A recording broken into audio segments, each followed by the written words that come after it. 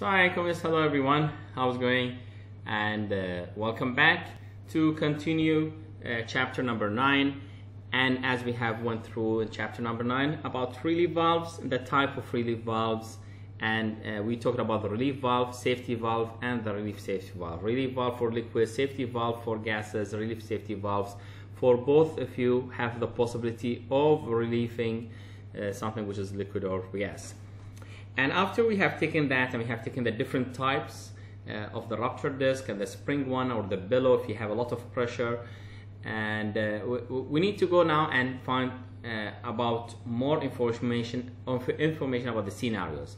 Scenario is just a story, right? You are just going to uh, you need that the one with the black hat that who says that well there are many problems here I can't see okay so he's that has this eye where he sees all bad things that could happen uh, and in the sense that every possible dangerous or, or sorry overpressure thing that could happen in any place.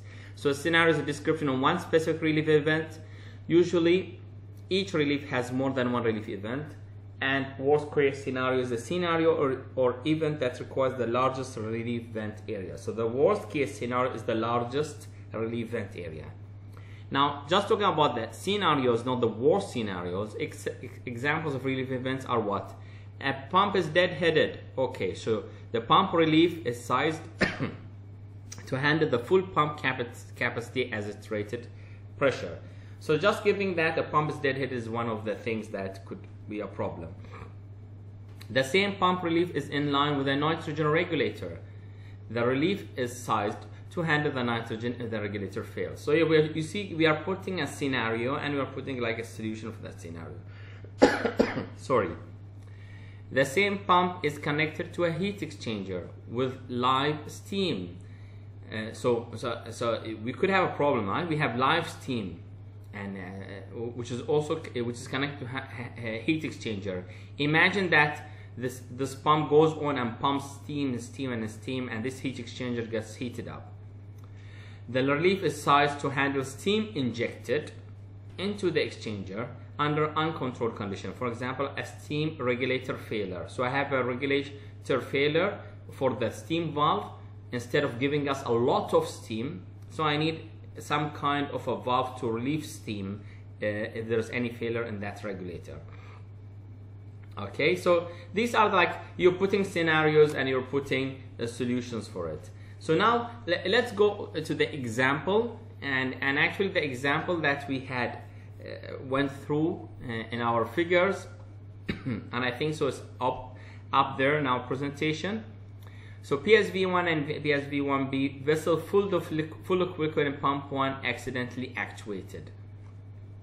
Okay, so uh, I, I, uh, let me bring on the figure so that it will be easier for us to, to discuss it. So here's PSV1A and here's PSV1B. And, and if you can recall, we said that vessel full of liquid and pump P1 is accidentally actuated. And, uh, and, and uh, here are the P2 PSVs. Is this related to this one here? Uh, let, let, let, me make sure. Uh, cool, cooling coil is broken and water enters at a certain temperature um, and a, a certain flow rate and pressure. So where's the cooling water? Here's the cooling water. I have cooling water in and cooling water out. And that was, uh, aha, okay. So what we are saying that? We are saying that if the vessel is full of liquid and P1 is, is, is pumping, if cooling coil is broken, so and water enters, so imagine all this happened together and, and a scenario that also nitrogen regulator fails, uh, that means I have no inerting, loss of cooling during reaction, run away. So the main thing I'm saying that here, I have a lot of liquid and I have also uh, uh, uh an accumulation of vapors, I have heating that will not stop, I have no cooling. What will happen? PSV and PSV1 will be working, okay? So I'm putting all the scenarios that could happen. V1 is accidentally closed. Okay, and, and system needs relief. So let's see V1. Where is V1 is accidentally closed? Okay, V1 here. So if this is closed, what will happen? This should be working, right? Because if this is closed, it's like pumping, pumping, this will heat up and it will blow, right? So you need a, a relief system here. Of course, pumps, they are designed so that if they have this kind of thing where it pumps and nothing goes on, it could go off by itself. Okay, so what else? Confined water line is heated with, uh, with the steam.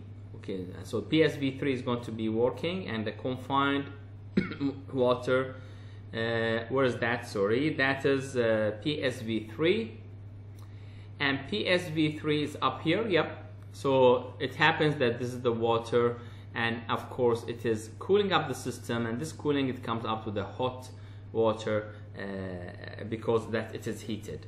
And maybe it is heated really high uh, with that uh, and we need an, an, a valve a relief valve there. Again this is another scenario for PSV4 if the nitrogen fails and the other R1 scenarios these happen. Okay so we have PSV1 uh, PSV5 if the water blocked inside the coil and the heat of reaction causes thermal expansion. So what do we have here? We have this cooling is, is not happening because there's a problem with the cooling water in and and uh, and because of that the heat is building up inside here. So so I think so we already went through all these examples but what we are trying to say here we already went through all the scenarios before but we are saying that there is a terminology where we we name it as relief scenario and based on the, the scenarios we are making sure that all our relief valves that were identified they they will do the good work for all these scenarios otherwise we may need to add more safety valves okay so you put your safety valve on all possible places that you have overpressure and then you put the scenarios and make sure that this works with all scenarios so what do we have here? It's like we are having a system after the relief type has been chosen and the relief size computed.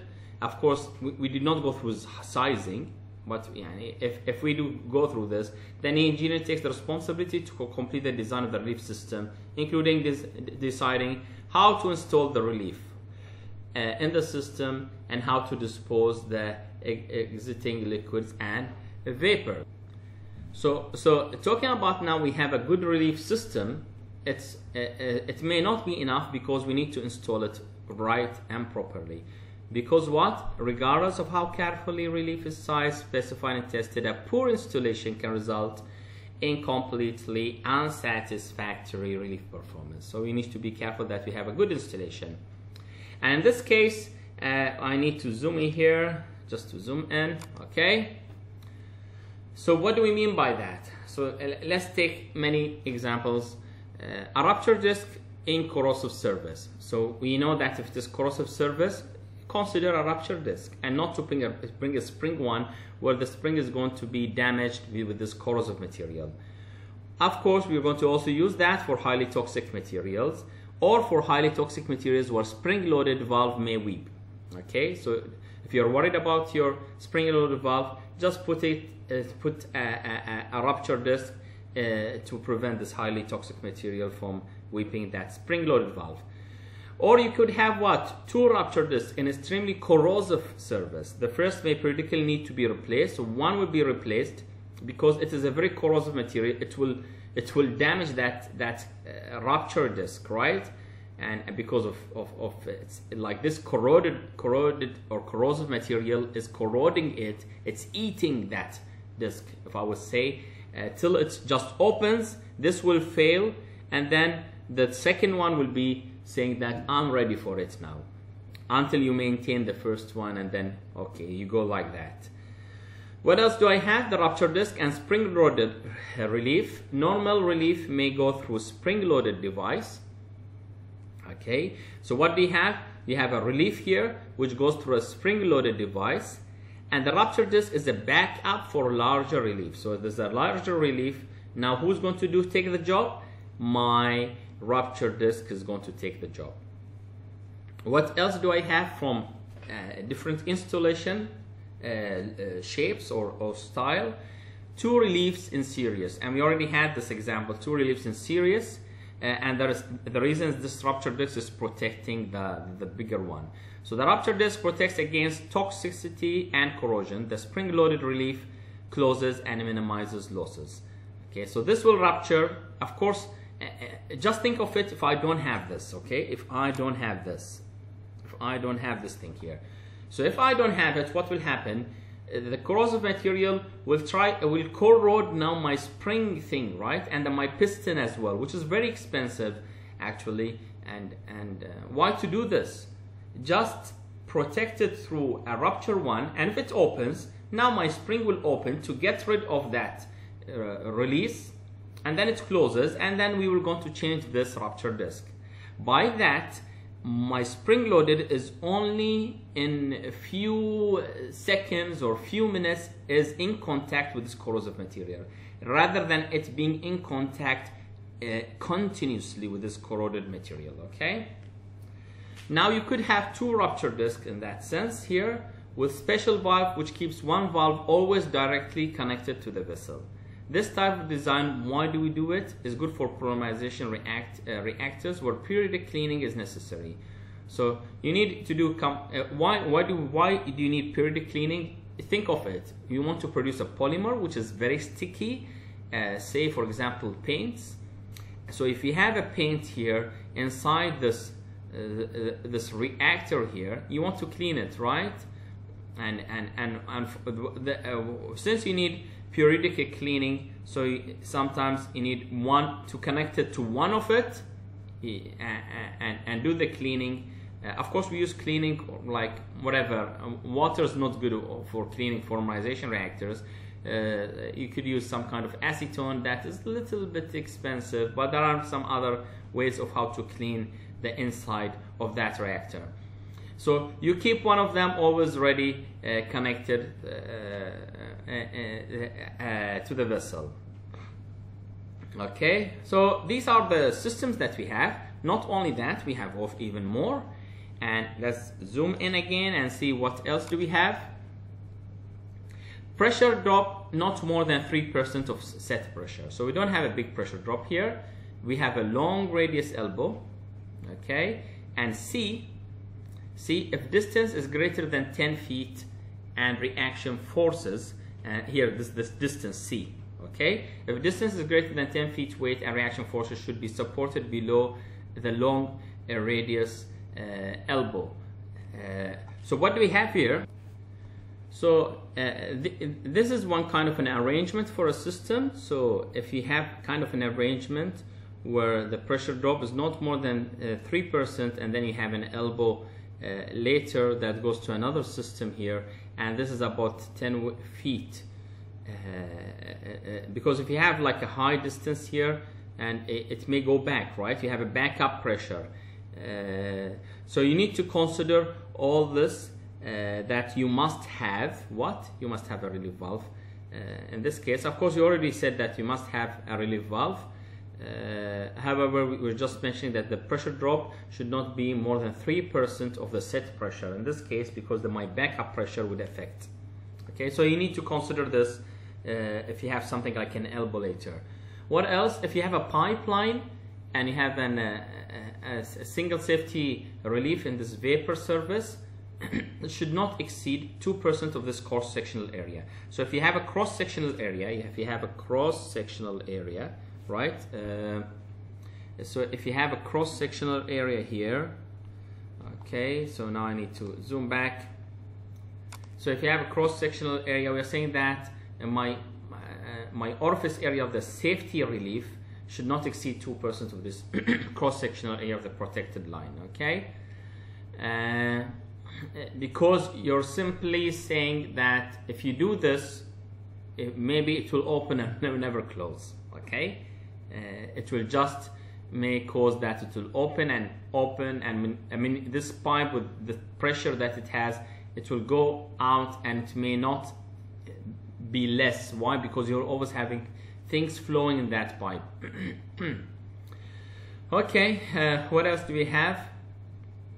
Uh, if we have a vessel like that and we have an inlet inlet here uh, line process line should not be connected to safety valve inlet piping. So if this is my safety valve inlet piping, okay, if this is my safety valve inlet piping, so process line should not be connected to safety valve. I should not put any safety, sorry, process line. What else do I have? If I have a device, turbulence causing device, A, and later I have, after this turbulence device, I have like uh, regulator valves, uh, this is the number of, of those valves, uh, of, uh, so uh, we have two elbows or bends not in the same plane, two elbows or bends in the same plane, and and so if we have this kind of arrangement later after this turbulence device, so you're expecting that because of the turbulence device, you will have here a lot of turbulence, maybe also gas as well, and so you need a safety, you need a safety valve here. So that these are what these are relief installation practices. We can use those practices from the experience that people had uh, uh and uh, just make use of them.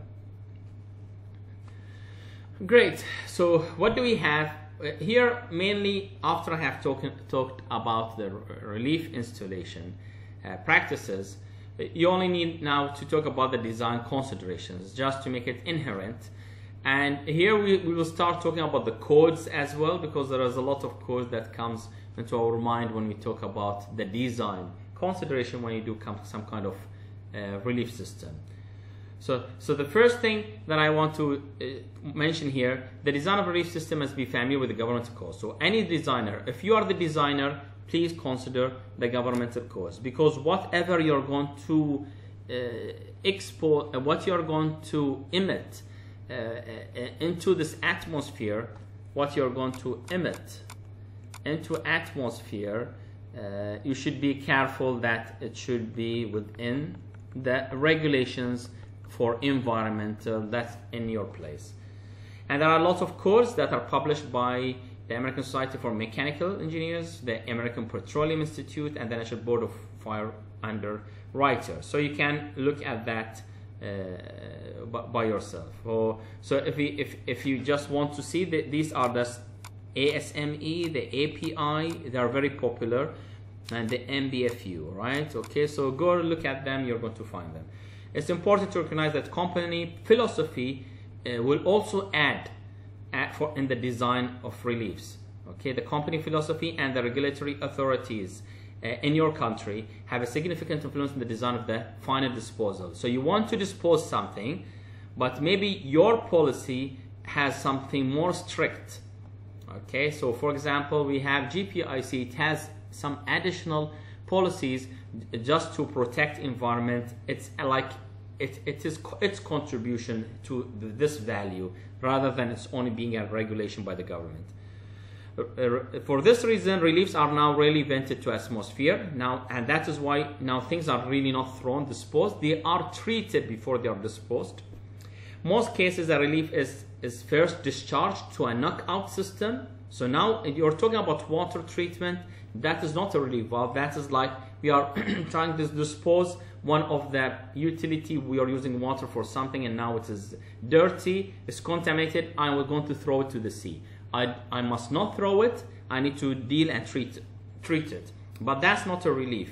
Relief is something like an overpressure and now it's discharged. But when discharging, it could go to the atmosphere or it is mm, commonly going to a knockout system to separate the liquid from the vapor.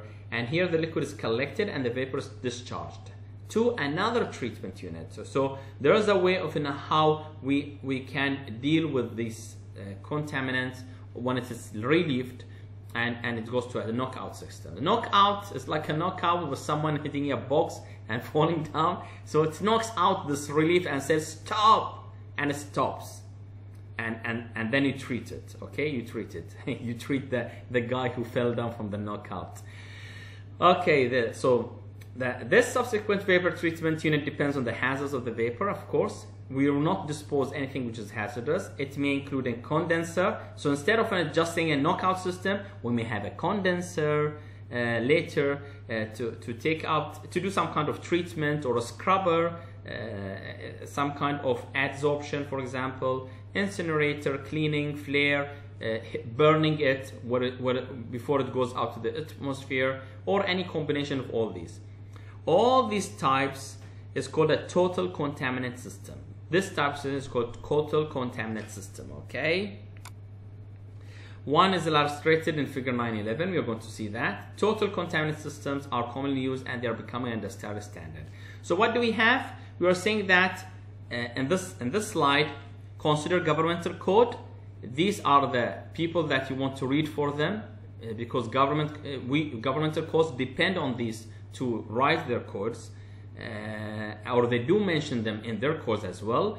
And uh, the philosophy of the company will also have its input and the regulatory authorities in your country like the environmental uh, authority we have in Bahrain. Uh, what else? Most cases it's, it's taking to a knockout system. Okay, just to knock it out and then treat it. And then treat it. If you're talking about treatment, you need a total contamination system where you can use a condenser, scrubber, a combination of these, uh, uh, all of them. Okay.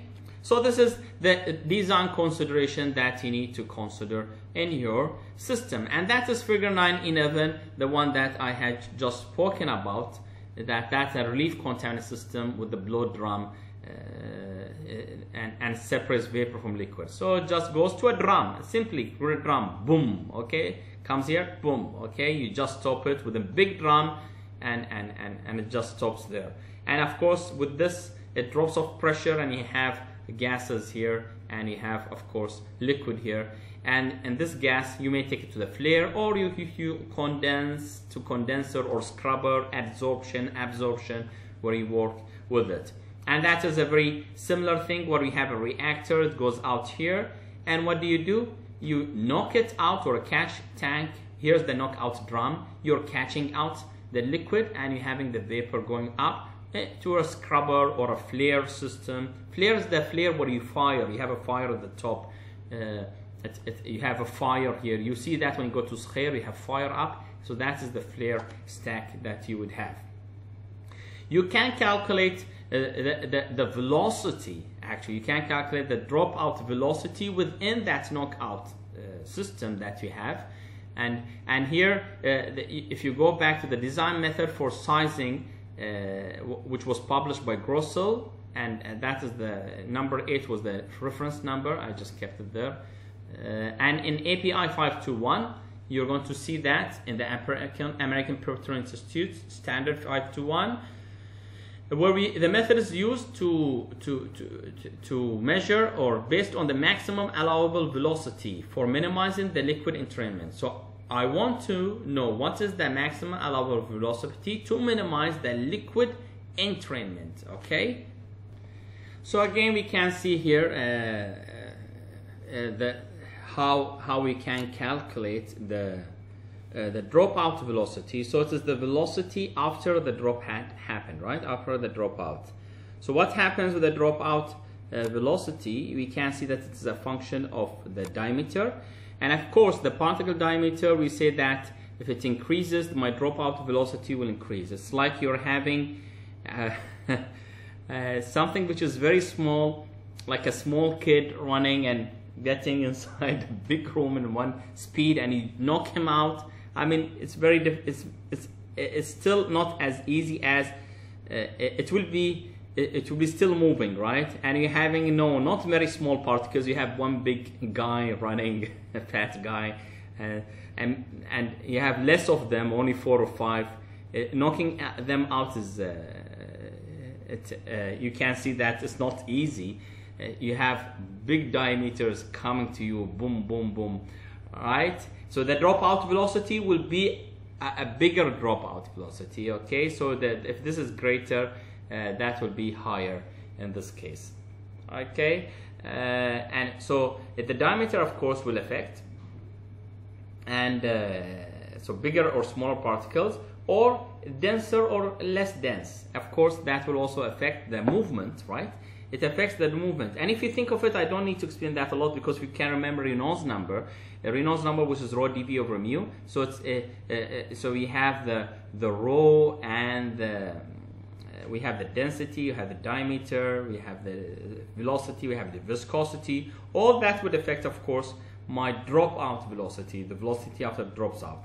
The only thing that we need to have here, uh, uh, this is uh, this comes from this uh, from this Reynolds number, where I can uh, calculate the drag coefficient correlation. So this is a drag coefficient, uh, depending on what? Depending on the Reynolds number square. So CRE square is equal to, so this is my number here that I want to calculate, is equal to this this equation or this figure here or this figure here okay great so just to know if we know how to use this equation here we take an example it's always easier. So determine the maximum vapor uh, velocity in a horizontal knockout drum to drop out liquid particles with particle diameters of 300 micrometers where the vapor rate is 170 pounds per hour and we have the density in the vapor phase is 0.2 density in liquid phase is 30 and we have the mu uh, is equal to 0.01 centipoise and the particle diameter we already said is 300 uh, micrometers and and my uh, my my mu uh, is equal to 9.84 uh, 9 into 10 to the power minus 4 feet so to determine the dropout velocity uh, if you, if you can see all what I need from the dropout velocity is this equation here, right? I need this equation.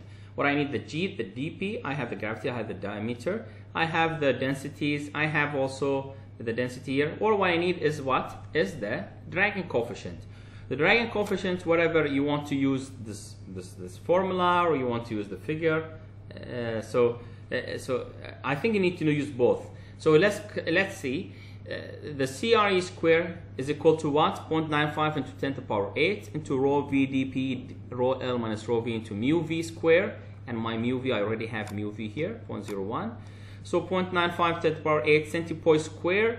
What is my uh, centipoise uh, square? Uh, we already have the viscosity. And I think so I need just to, to make it smaller here just to see the numbers.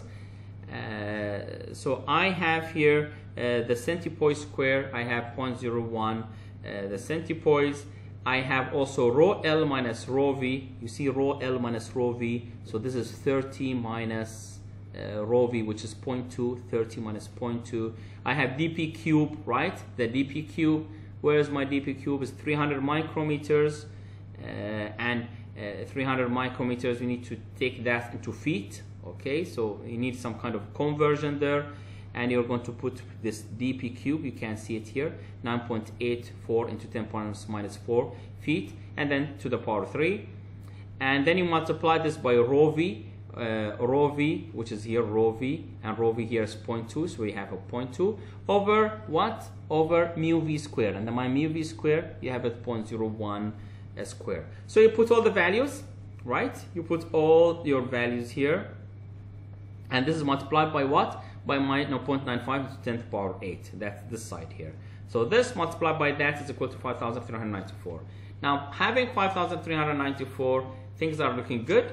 So I go here 5,000, 1,000, 2,000, 3,000, 4,000, 5,000, 6,000 and I go up here and this looks like one point between 1 and 2, right? Between a 1 and 2 it's like 1.3.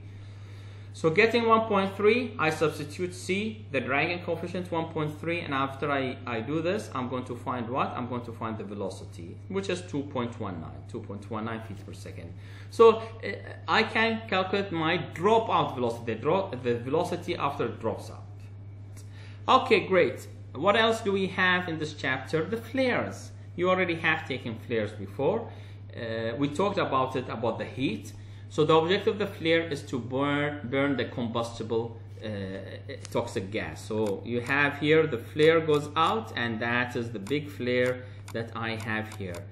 And actually we can calculate the height of that flare and we calculate can calculate the diameter of also that flare.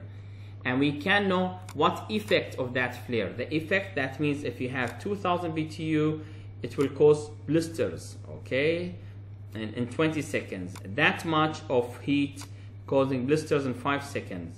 Uh, blisters is like something on your skin and uh, that uh, you need to see look at it i mean it becomes really red and it's like uh, becoming uh, not only red like it opens it's not it's, it's like an it's not an open wound it's, still closed but it becomes really watery uh, so this is where you have blisters if you have this amount of btu vegetation wood are ignited and if you have this amount only that that is like a radiation it could you, you could feel the big heat on you. So what we are trying to say here, uh, uh, we know the effect of this flare, we can know the height, we can know the diameter. And we can cal calculate the height by the equation that we have here. Again, so what is the, why do we have flares? The objective of the flares to burn the combustible or toxic gas to produce combustion products that are not toxic to the atmosphere. The diameter of the flare must be suitable to maintain the suitable flame and to prevent a blowout uh, blowout, which means the vapor velocity is greater than 20% of the sonic velocity. Which means that if it is that, it could go to very, very further place and that could be dangerous, okay? So we need to make sure that the diameter is suitable to maintain a stable flame. We have a flame and it's stable.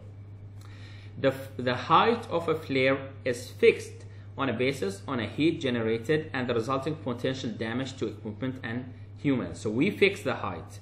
The usual design criteria is that the heat intensity of the stack not to exceed 1500 because if it exceeds it causes this and that and that. It causes all the splitters or harmful uh, or fire to vegetation and wood would be ignited. So not to have all these things things that are happening here we will have only solar radiation.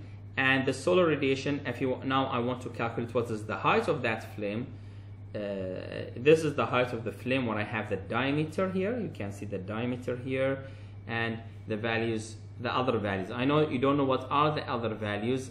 Uh, I did not include that. Okay just a second for you to see what are these other uh, meanings of uh, the, the, the flow rates that we have and the heat the amount of heat. Just a second.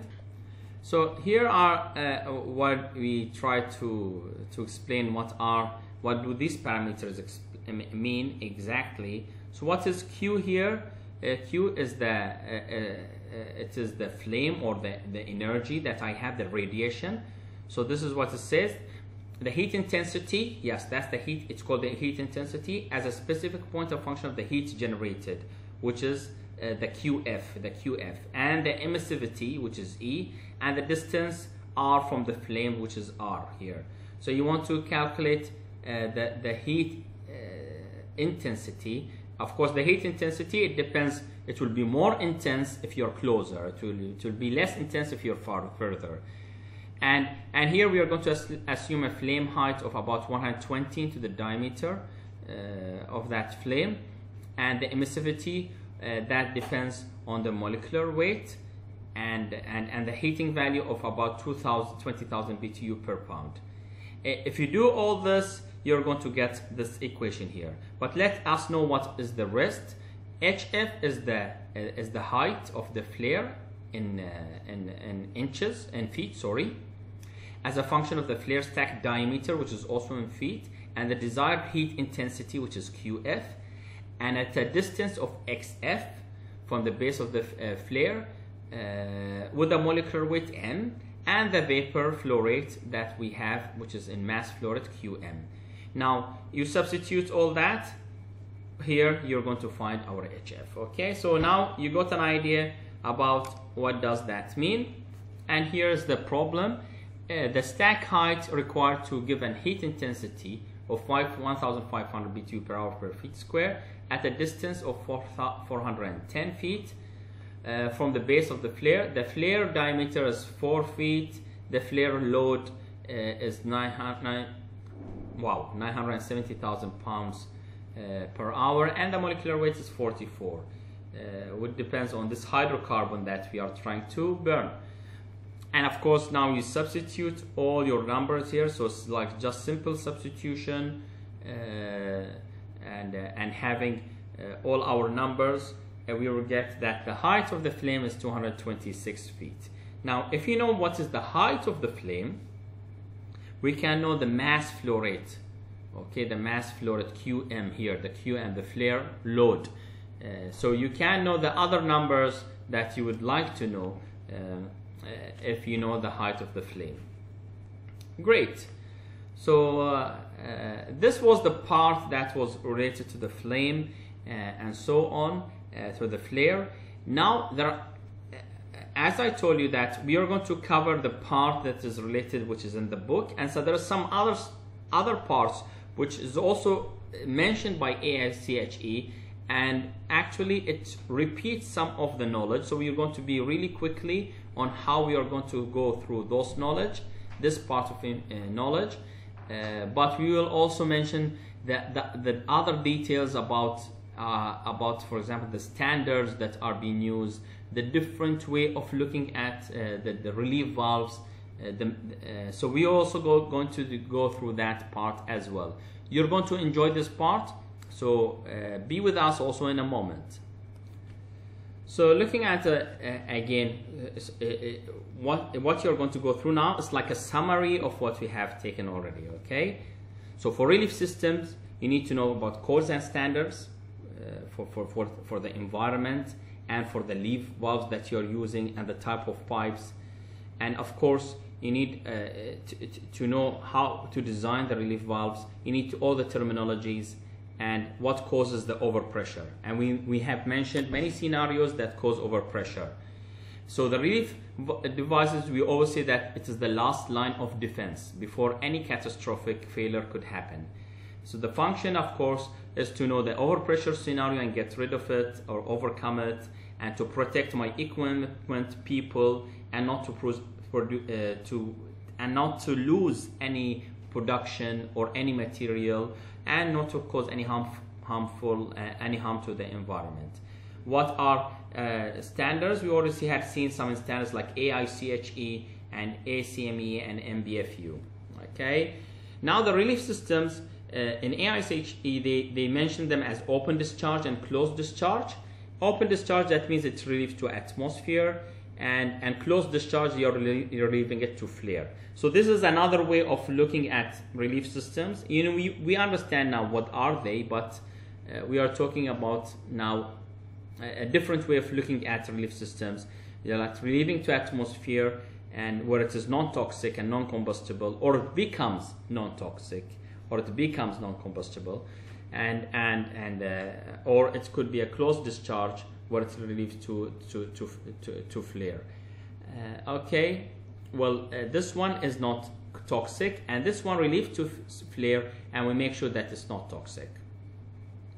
Okay so uh, we already have mentioned about the open discharge. We have taken many examples here. And what is this? This is like a spring okay this is like a spring on a pipe and we said that if we have a spring on a pipe uh, we already mentioned that uh, the diameter of this this should be not more than 2% of this diameter here, okay? So if you can recall what we have taken before. And, and the closed discharge, of course, we have a flare head system and we already finished explaining the flare head system. We just want to make sure that the hazard would make closed discharge the most appropriate relief method, but are not limited to, to the following flammability. So it's flammable, toxic, reactivity, special hazards, but actually after you do the flaring thing, uh, burning it, maybe none of these would become flammable or none of it would be to become toxic. And this is like a flare stack that you have. But please consider that even that you have a spring, of course you can see that here rupture disc, there are relief valve, relief valve, spring one, and they are collected all after this relief thing because pressure was very high here, or the pressure was very high here, or there's an overpressure here and they open, they all go to a knockout drum before going to the what? To the flare stack. So the you and you know the drop off velocity. You calculate how much you drop off this, and you knock it down, and then of course you're going to have gas, and you're going to have of course maybe liquid here when you need to collect the liquid as well. And then of course you send all the vapor, you burn it, and make sure that it is within certain regulations and standard that you do not overcome. Uh, so what are codes and standard references? There's the OSHA standard. You need, you want to read more about it. some safety management of hazard chemicals and flammable and combustible liquids. There's an ASME from uh, the standards, American standards for mechanical engineering engineers and uh, this is for boiler and pressure for example for power piping for petroleum uh, why is API not mentioned here? API is really very important to mention. It should be mentioned here as well uh, the API standards the American Petroleum Institute standards. We have the NFPA as well. We already mentioned that. And and and sometimes there are some other specifications by the clients. Okay here's the API okay sorry. So you have the API. I thought that I moved it out for some reason. Uh, so you have recommended practices F520, 521, and so on, and each one of the practices mentions something. For example, this 520 mentioned the design installation of our relief valves. And this is a guide for pressure relief and depressurizing system 521. We already mentioned that in our last video. And we have some more, of course, standards more standards for API related to, to uh, the relief valves. Okay, so the, the next we have is the work process for relief system design. So in the, in the design, we already said that the, the most important thing that we need to understand the process and where do we have overpressure and we need to also then know the scenarios and then the main or the generic uh, advice is to put it on every vessel and every place that you feel that you have an overpressure. So you're going to evaluate where there's an overpressure, right? And, and then of course you may need to do some kind of calculations to do the sizing, to do the kind of sizing, to calculation of flow and the device size, the relief device, and the piping considerations as well. Now all of this is within chapter 10. So and so this is the, the place where we are not covering the piping sizing and and, and the sizing of the valves. So that part that is not covered in our course because we're mainly concentrating on safety and, and, and those and those will be like uh, there is someone who will help you to do these kind of calculations. So you need of course to do the design process you need to understand the energy balance and the mass balances and the flow diagrams is very important. You need to know where do you have your instruments and control systems so that you know how to put your your relief valves. And of course you need an information about your equipment your the pump curves and uh, and and of course the control valve uh, the sizes.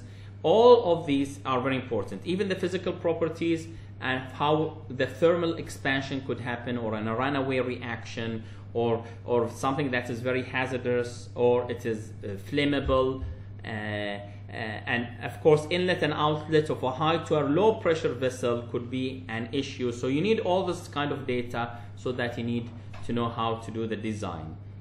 Uh, the, the relief device terminology we already took this device terminologies. The set pressure is the pressure when it opens and of course there you have the burst pressure where the rupture disk is bursting and the overpressure which is the percentage of pressure over the set pressure. The accumulation is the percentage of the pressure of the, the maximum allowable workable pressure.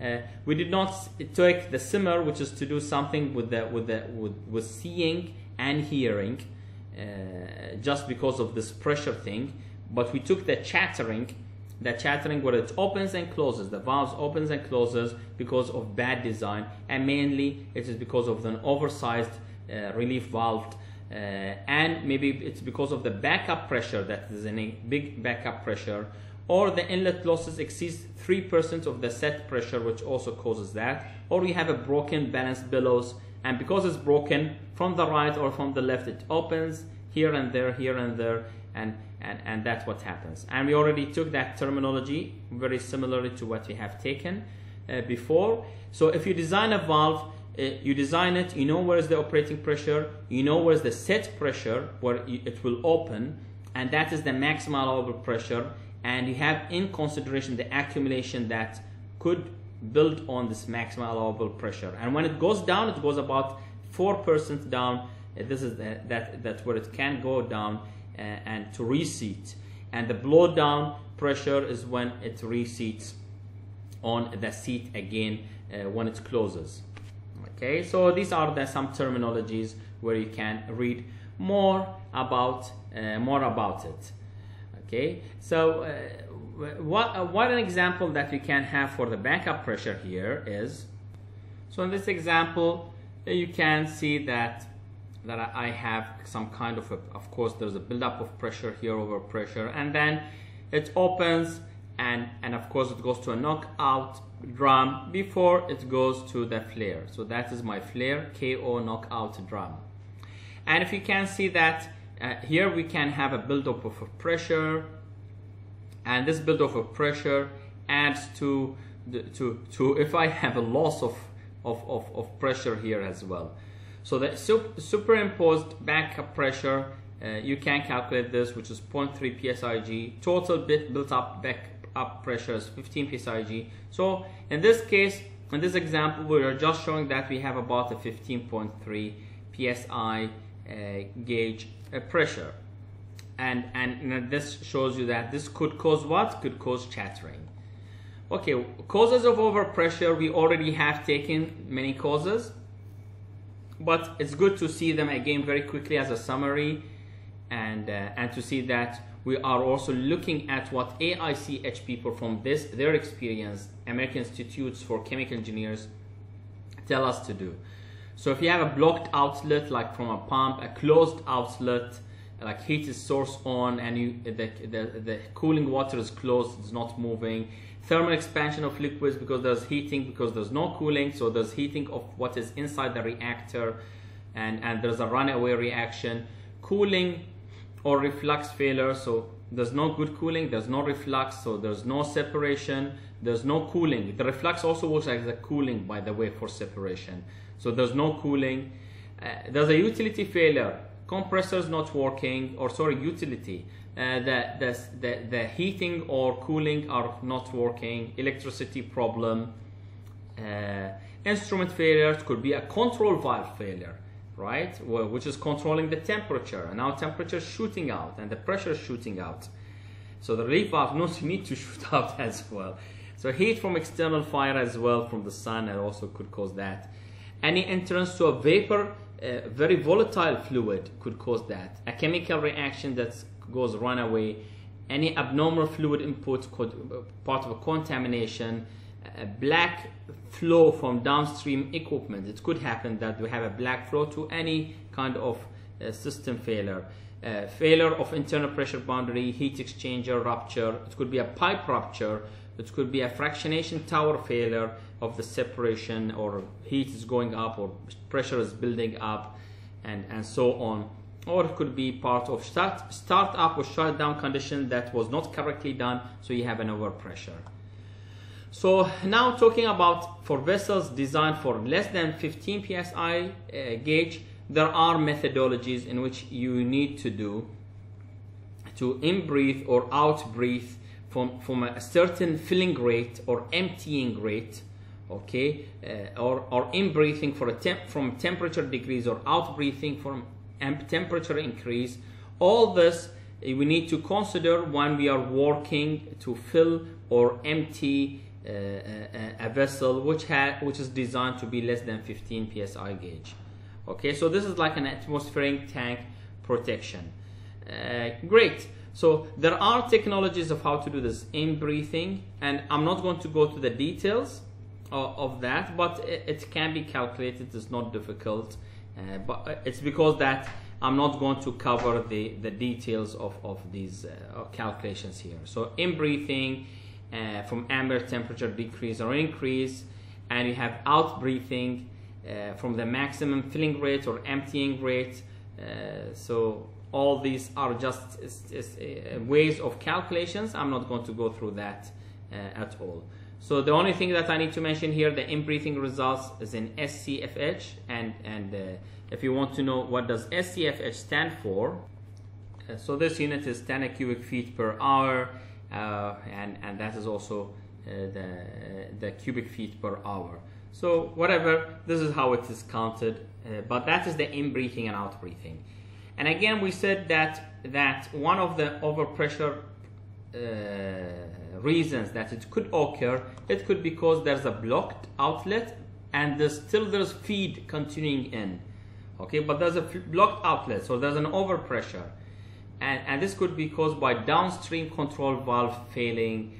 Uh, you see now we are going to the details of the problems. So we said this is a problem, but why this is happening, there are also some details. And those details like a control valve has a problem, isolation valve closed by an operator, oh sorry, I closed it, closed it, chemical reaction causing a blockage as well.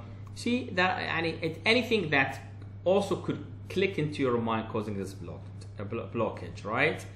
And those those sources that are pushing uh, where there's a blockage, it could be a pump, a compressor, high pressure of a utility on upstream, and but there's a blockage in front of them. A, a thermal expansion could be of a solar radiation, a heat exchanger. You're not cooling well, and and uh, there's a heating. There's a, uh, instead of, for example, a valve failing and instead of closing the fuel it did not close so the fuel is still entering my uh, my furnace and it's heating up so all those are generally reasons for liquid expansion and there are calculations of how to uh, to calculate the required relief rate depending on that thermal expansion okay but we are not going into the details of that okay but this is you can calculate how much relief rate to uh, and this this is all in chap the, the other chapter that I said that we will not cover, which is chapter number 10. External fire that could be from radiant heat and and and so on. Uh, what are the surfaces that sustain uh, the pool fire? Why? Because you have a fire that heats up the system, so that the one the ones that can sustain are concrete, felt, and you already know that these things how do they catch up with fire uh, walk on uh, the asphalt and see how if you can do that or it could be some kind of metal decks like that in which you, you can see that it will not sustain any uh, pool fire okay? It will not contain it will not sustain that pool fire. And uh, uh, other external fire scenarios uh, we have we, we can talk more about the, the, the other surfaces is that we can have some insulations, right? Insulations that provide any heat up of those external fire and we can also read more about uh, this API uh, standards and FPA standards. There are equations in which you can calculate the liquid vaporization, how much liquid is, vap is really vaporizing uh, so that you can work on the drainage and fire firefighting. I'm just showing you these are equations I'm not going to cover those equations I'm just showing that to you that you can do a lot of sizing and calculating the relief rate how much relief rate again if I have any problem with the controller I could have a problem and this controller when I said I have a problem with the controller it could be because of the instrument a wiring failure a mechanical piston thing or it could be because of the DCS the control room, the signal that they are sending, which was wrong. Uh, so it could be one of all of these. There are many other reasons also for an automatic, automatic control failure. So please go read more about it. Or it could be uh, the tube broken. The tube is broken, right? And and and that could be caused because of what? It could be caused because of a thermal shock heat is changing very fast and it could be because of a mechanical vibration and mechanical vibration that means if you hear the vibration in the industry you get scared. I mean you cannot hear the person in front of you. So imagine that this mechanical uh, shaking uh, that pipe up and down this mechanical vibration and things are not fixed well it could break it. Or if it could be corrosion by the way. Sorry for that. Uh, I, I just skipped. Uh, okay. Or it could be the corrosion part. I think so I skipped many files here. Just a second? Yep so it could be because of the corrosion uh, thing or the uh, and and or it could be because we did not do our maintenance in the right time. Okay and and and and a rupture could be any rupture and this is a, just an example. We could have a rupture here. We could have a rupture and and and what i'm trying to do as cooling for example it could be a rupture of of uh, of what is exiting here and have a build up of liquid and and we have gases here so we have more pressure. So it could be a rupture from any a kind of, of a system here. Okay uh, and and so on. There are many uh, examples. Or it could be a human error. Okay that is as simple as uh, someone opening or closing something that is should not be closed uh, and if you talk about human error sometimes it's because of what? Uh, panic huh? people get panic if they have something going up and down pressure is very high temperature is high i don't know what to do i close. Oh my god i made a disaster okay? Or it could be some incorrect interpretation of when we know what are the details even of the human error we can deal with that through training okay? Deal with that training how to manage yourself within these conditions chemical reactions we need to also know why do we have chemical reactions. It could be because of our rate of reaction that is very complex so we need to understand that really more and get on experts who need to know how to deal with those uh, reactions. Utility failures i don't want to have any failure in electrical so i need to have a generation generator a backup or a steam failure or a cooling water failure or refrigerant failure. So all these kind of utilities that could have a failure I need also to have a good maintenance not to have those kind of failures. Or it could be a cascading failure where there's one turbine went off and another compressor went off and then the pump went off. It's like when you have a plane and then they tell you oh one of your machines went off and then another machine went off another the third machine went off. Why? Because everyone every machine like it, it has a certain power limit but it cannot stand a certain power limit uh, for, for the whole plane and then it goes on failure and the third one goes on failure and so on. Or it could be the fire catching up with one and the other and so on. Great. And of course there are uh, you need always to, uh, to, to talk about even if you think that things are, are are great you always need to say that I must use a relief device and, not to take things just as face looking uh, about it and here I'm just giving some example of codes. So here talking about the code, for example, over pressure protection by system design, a pressure vessel does not require a pressure relief device if the pressure is self-limiting. That is, example, the maximum discharge pressure of a pump over compressor. And this pressure is less than the maximum allowable pressure.